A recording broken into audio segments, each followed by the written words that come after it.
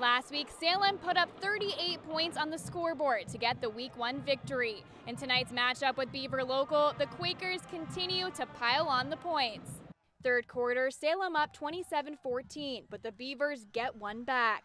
Joe Monty takes it in for the score. Quakers up by one touchdown.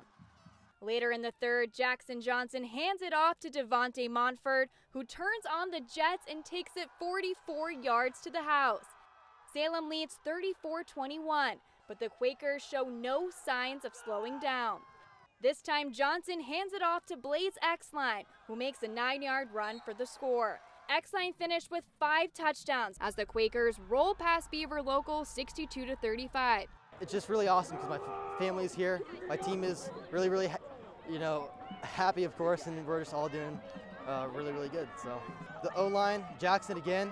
The blocking is great. Just the team um, all around is doing really, really good. In Salem, I'm Danny Podlosky for Sports Team 27.